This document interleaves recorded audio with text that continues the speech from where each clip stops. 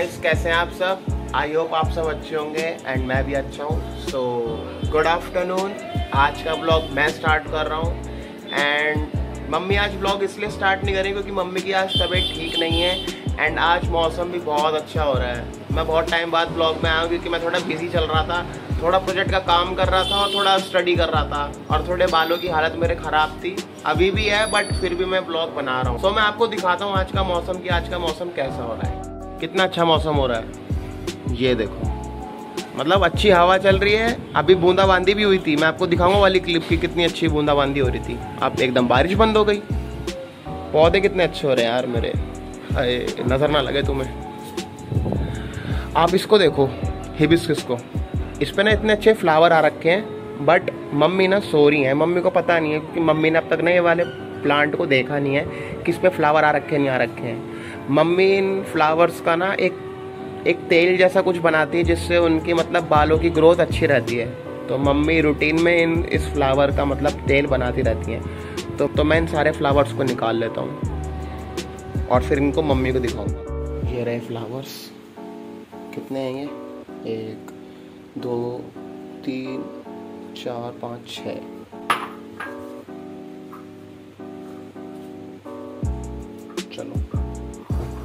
इसको यहाँ रख देते हैं। इसको बाद में मम्मी को दिखाएँगे, ठीक है? ये देखो आप, डाइनिंग टेबल कल इतना भर रहा था एंड आज इसलिए मैंने साफ़ कर दिया क्योंकि बहुत मैसी मैसी लग रहा था। और मेरे को ना, ज़्यादा सामान अच्छा नहीं लगता है घर में। अगर मैं घर में खाली भी रहता हूँ, कुछ कर भी नहीं रहा होता हूँ तो मैं ऐसी साफ़ सफ़ाई कर लेता हूँ, मेरे को कोई प्रॉब्लम नहीं है। डाइनिंग टेबल बहुत ज़्यादा भर रहा था, इसलिए मैंने इसको साफ़ कर लिया। और ये रहा मेरा भाई, कुछ हिसाब लगा रहा है, बालकनी में खड़ा होकर अनु तेरे को याद है, हम बचपन में हेलीकॉप्टर बनाते थे पेपर से। एक बार बना के दिखाना। चल बना। दो कट साइड में और एक कट बीच में और इसको फिर फोल्ड कर देता है। और ये हेलीकॉप्टर सीरियसली उड़ता है। बचपन में हम बहुत करते थे ये। और देखो, ये तैयार हो गया है। बारिश तो हो रही है, बट मैं आपको दिखाता हूँ कि अरे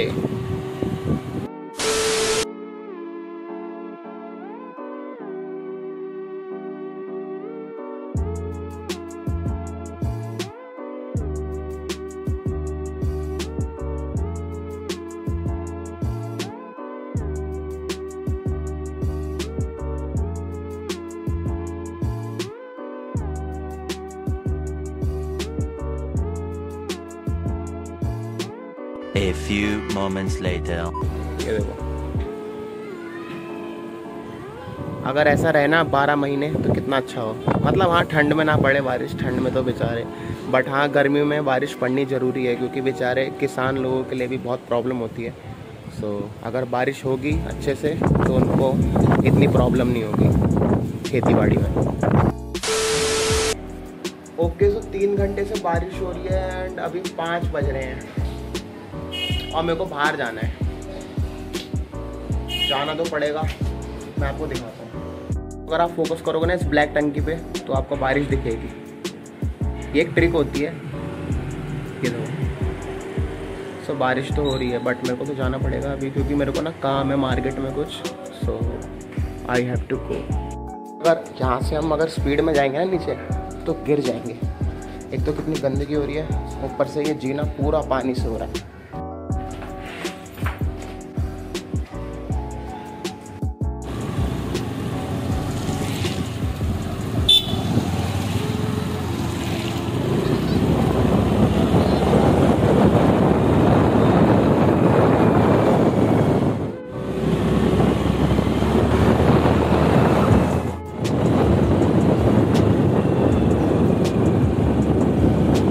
Moments later.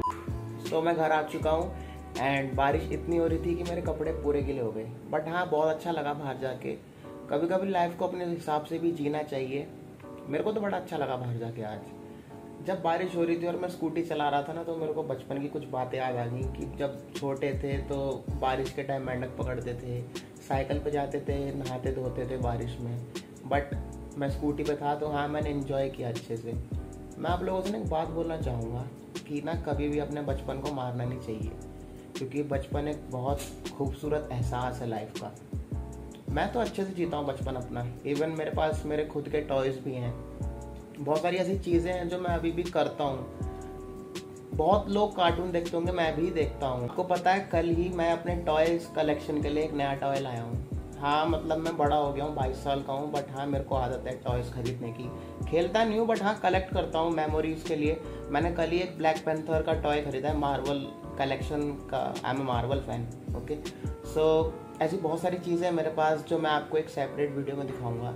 मेरे पास बाईस साल का एक टेडी बियर भी है एंड अभी मैंने रिसेंटली अपने लास्ट बर्थडे पे, मार्च में मैंने मम्मी से गिफ्ट मांगा था कि मतलब मम्मी, मेरे को एक टेडी बियर दो। तो मैंने उसका नाम पू भी रखा।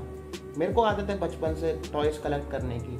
बचपन में क्या था कि मैं खिलौनों को तोड़ दिया करता था बट जब बड़ा हुआ तो रेगुलेट फील हुआ कि मतलब मैं क्यों तोड़ता था।